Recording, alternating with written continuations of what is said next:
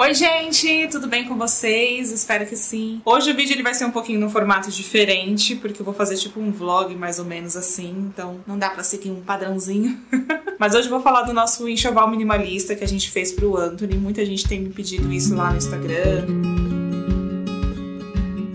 Vou falar primeiro de alguns itens que são mais, assim, consideram mais importantes na lista padrão porque se eu for falar de todos os itens da lista, o vídeo vai ficar muito longo. Então eu só vou falar mais ou menos o que a gente achou necessário e o que a gente não achou necessário. E depois eu vou fazer um tourzinho aqui na cômoda do, do Anthony para mostrar para vocês como que eu organizei tudo e dar algumas dicas de dobra de roupas e tal, para facilitar aí para muitas mamães de primeira viagem como eu na hora de organizar as gavetas. Então eu cheguei a fazer uma listinha, peguei uma lista padrão da internet e aí eu fui listando as que eu achava as coisas que eu achava necessárias e as coisas que eu achava assim desnecessárias, pelo menos a princípio. Eu vou deixar aqui na descrição do vídeo também lá no Instagram a listinha das coisas que a gente comprou comprou, das coisas, algumas coisas que a gente comprou. Então, assim, na verdade, a gente comprou pouquíssimas coisas porque a gente ganhou também muita coisa no nosso chá de bebê e também de amigos, enfim, familiares. Então meio que acabou tendo um acúmulo de coisas, né, de roupas e tudo mais. Mas é claro que se a gente fosse comprar mesmo, nós iríamos comprar bem menos roupas do que o que a gente tem agora. Bom, primeira coisa que todo mundo queria muito que a gente comprasse, queriam empurrar pra gente de todo jeito, é o kit mini berço.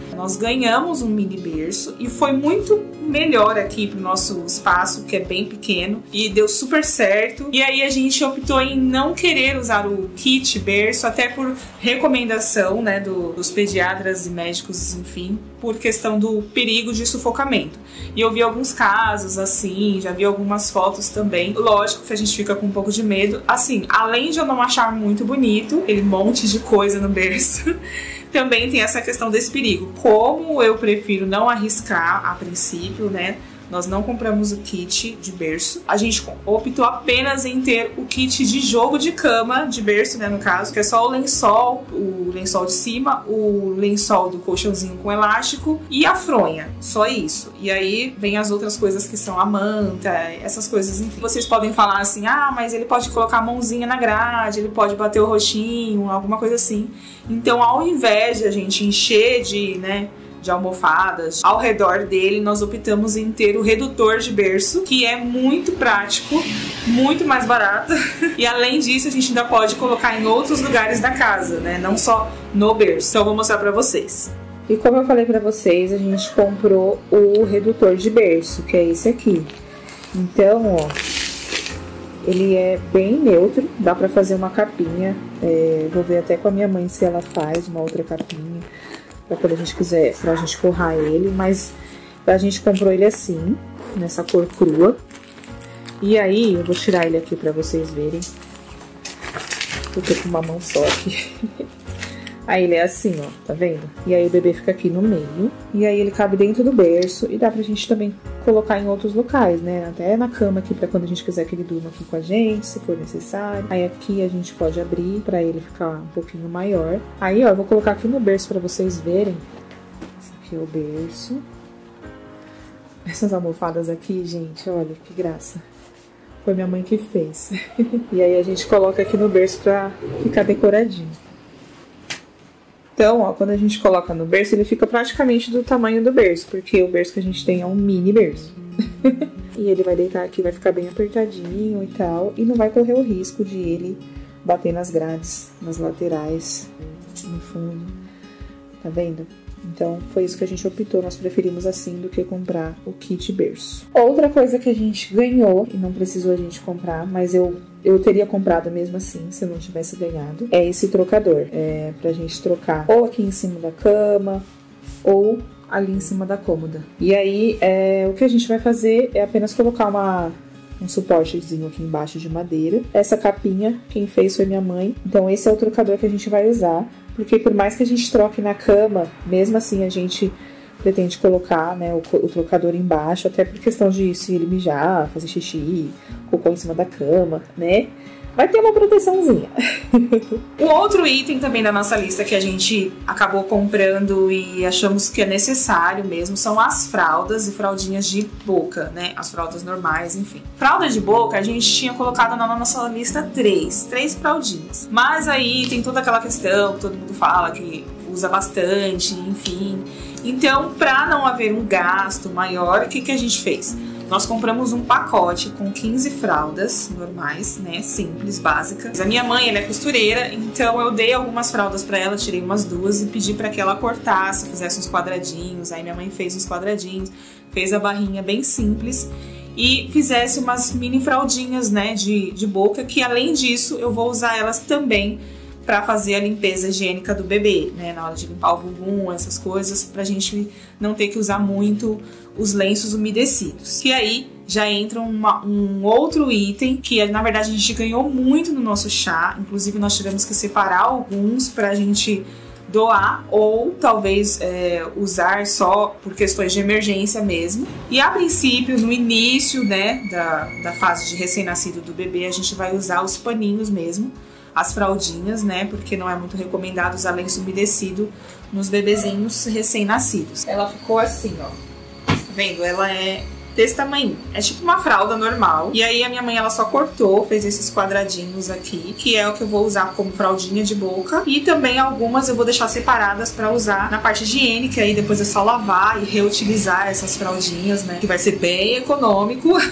e além disso, a gente vai produzir menos lixo e ajudar o meio ambiente. Que maravilha, que é o que eu mais gosto. Outro item que é um pouquinho polêmico também na lista, né? Que é considerado como se fosse uma regra, é a tal da saída maternidade. Eu não faço muita questão de que o bebê saia da maternidade, tipo, como uma celebridade, cheio de, né, tudo chiquetoso e tal.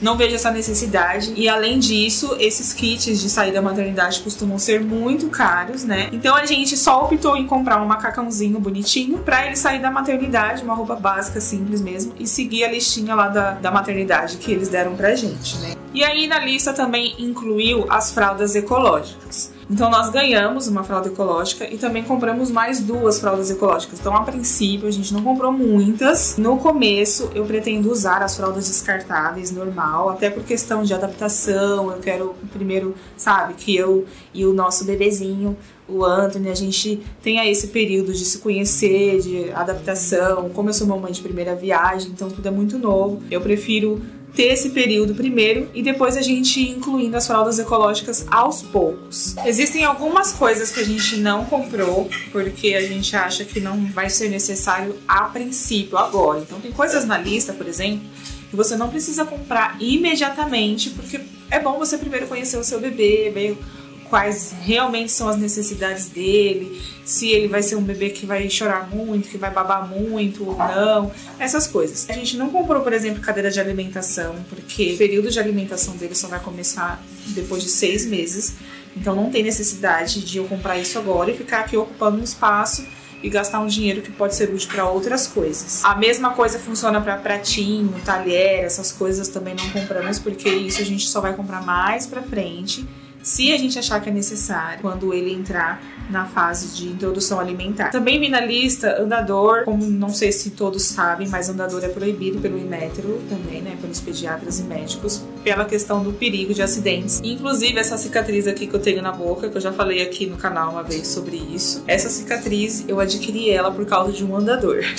Eu estava no andador, né, lá brincando, e o andador prendeu no tapete e ele virou e eu bati a boca na quina da estante da sala. Então abriu bastante aqui assim a minha boca e eu levei alguns pontos na época. Minha mãe ficou super desesperada e nunca mais ninguém naquela casa teve um andador.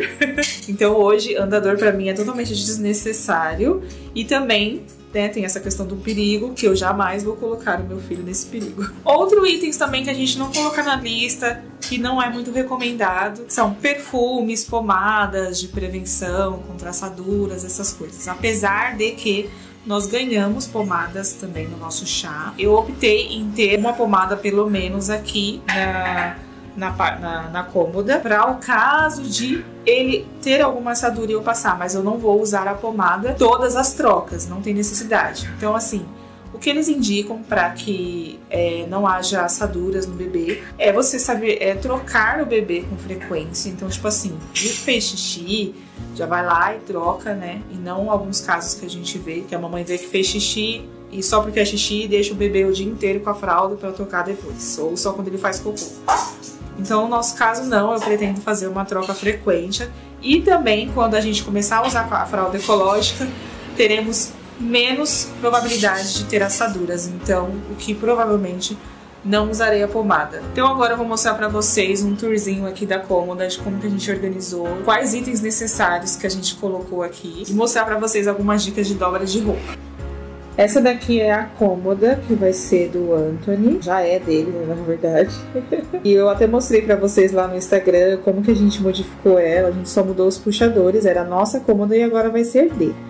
Então, aqui na primeira gaveta, a gente colocou os itens mais utilizados na hora da troca e banho. Mostrei também lá no Instagram como que a gente fez essas caixinhas. Elas foram feitas de papelão.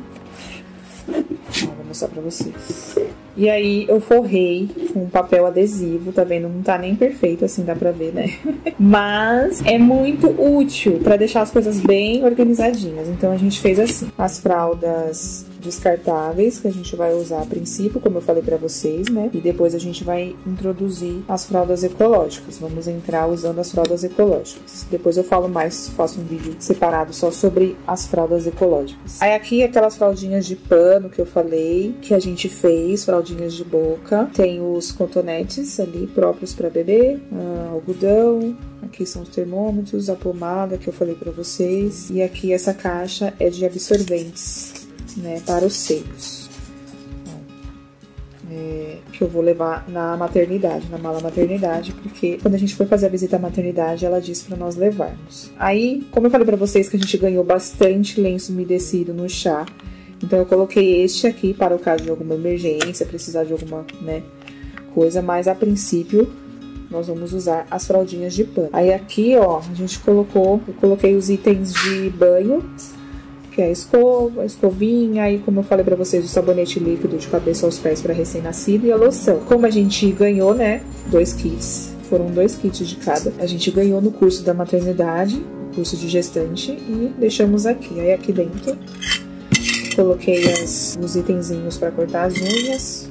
E aí ganhamos esse sabonetinho também é, no chá,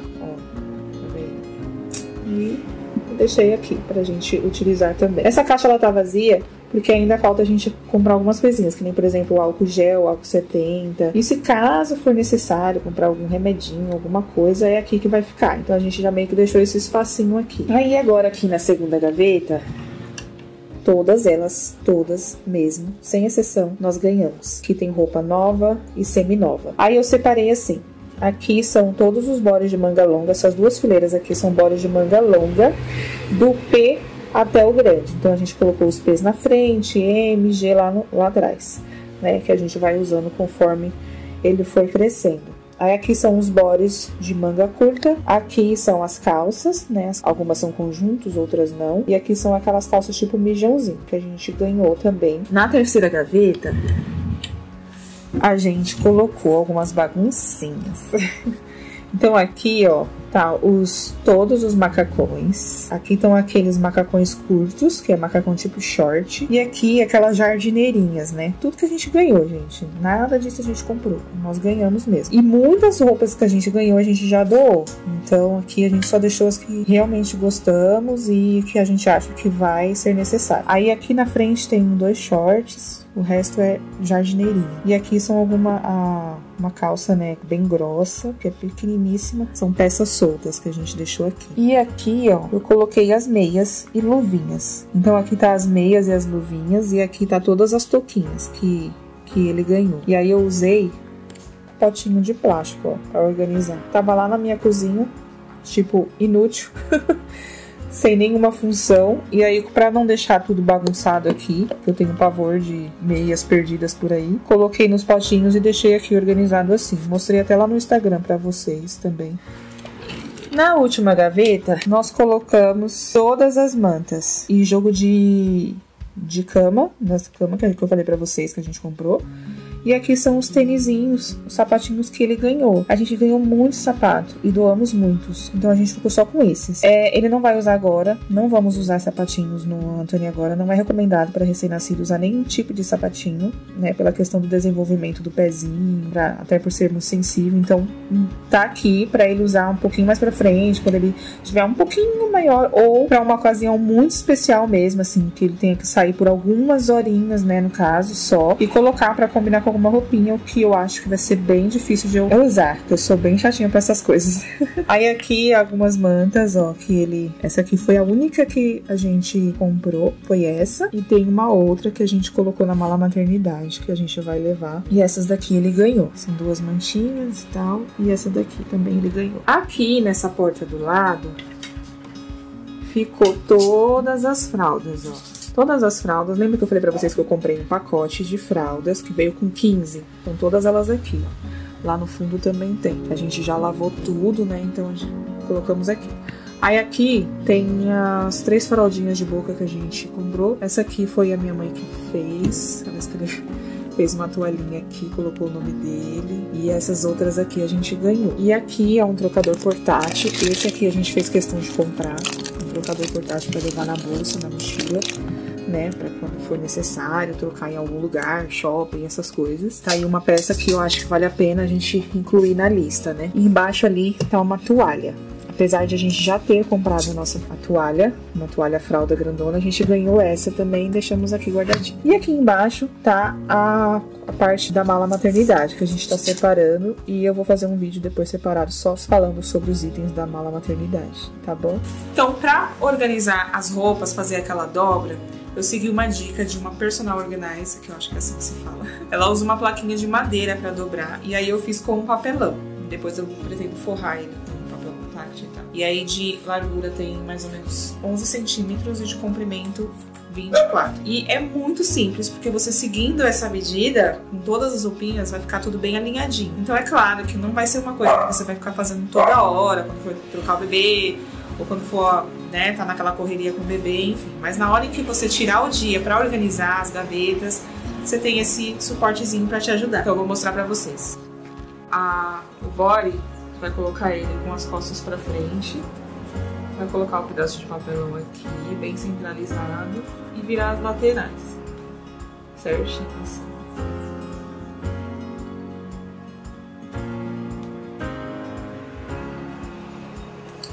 você tira e dobra duas vezes. E aí ele vai ficar assim. Você fazendo isso com todas as roupinhas, vai ficar todas do mesmo, na mesma medida, do mesmo tamanho. E aí é só encaixar na gaveta. Da minha eu fiz assim, eu peguei e coloquei apenas uma dentro da outra. Eu não quis dobrar e fazer aquele bolinho, porque eu acho que ia ocupar mais espaço. Então, é só colocar uma dentro da outra assim. E aí, colocar aqui no cantinho. Dentro do potinho aí que você estiver usando. Outra coisa que eu acabei não falando para vocês é que a gente tem banheira também, né? Nós não compramos, nós ganhamos. Então é aquela banheira simples, ela é meio quadradinha, meio retangular. Não tem o suporte, é, na verdade é o que eu gostaria de ter o suporte, porque é muito bom a gente ter o suporte da banheira pra questão da coluna e tal. Isso facilita muito no dia a dia, mas é algo que a gente pretende adquirir depois e colocar na banheirinha. Fora essas coisinhas, nós também temos a poltrona e alguns nichos que tá ali, ó. Esses dois nichos que a gente colocou para ajudar ajudar também na organização e também de uma forma decorativa. Vou mostrar a poltrona para vocês. É essa poltrona aqui, ó. Ela fica do lado do berço, né? E colocamos a poltrona aqui e, claro, vai ter um puffzinho. Nós compramos ela de segunda mão, essa poltrona. A gente pagou bem barato até, né? Ela é semi-nova. Por que que eu vou usar a poltrona? O nosso quarto ele é muito pequeno. Nós optamos em colocar a poltrona porque eu não pretendo ir para outro ambiente da casa para poder amamentar de madrugada, essas coisas. E como pode acontecer de o bebê amamentar por muitas horas, eu não pretendo ficar sentada na cama ou na sala, né, é, muito tempo amamentando. Então eu gostaria de ficar aqui no cantinho do quarto. Por isso que a gente optou pela poltrona e eu vou colocar um puffzinho ali para apoiar os pés. Então é isso, gente. Isso é o que nós temos hoje no nosso enxoval minimalista, que a gente considerou como o nosso enxoval minimalista, mas é claro que isso vai de acordo com a necessidade de cada mamãe, de cada papai, dependendo do tamanho da sua casa ou se você ter, né, vai ser mamãe de gêmeos, trigêmeos, enfim. Isso vai de cada um, mas esse foi o que a gente considerou necessário agora a princípio. Coloquem aqui nos comentários também se vocês acham que é muita coisa, se vocês acham que foram pouco, quais a lista de vocês, compartilhe aí com a galera. E me sigam lá no Instagram também, que tem bastante dica legal. E lá eu consigo mostrar mais o dia a dia aqui. Um beijo, espero vocês até o próximo vídeo. Um beijo e fiquem com Deus. Tchau!